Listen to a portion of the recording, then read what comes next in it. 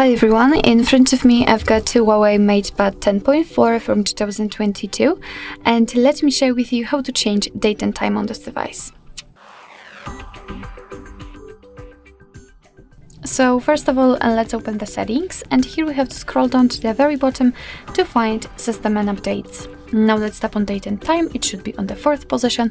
And as you can see, uh, currently we are using automatic date and time, that's why we cannot manually set them.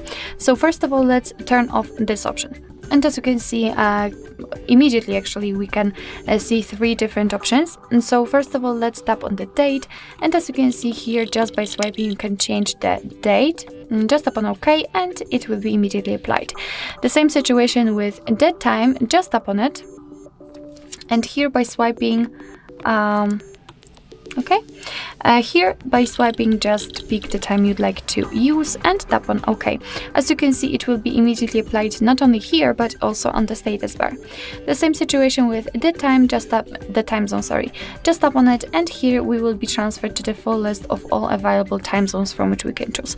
So basically all you have to do is to simply find the one you'd like to set and tap on it. So let me pick this one and as you can see it will be immediately applied but of course be aware that the time will also change according to it as you can see we've got uh, 6.30. Uh, here you can decide what kind of clock format you want to use.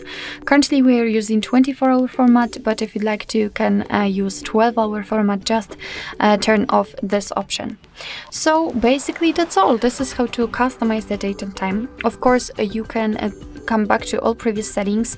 So just tap on this option to use 24 hour format and here to use network provided date and time. So actually this is it, this is how to change date and time in your Huawei MatePad 10.4. Thank you so much for watching, I hope, I hope that this video was helpful and if it was, please hit the subscribe button and leave the thumbs up.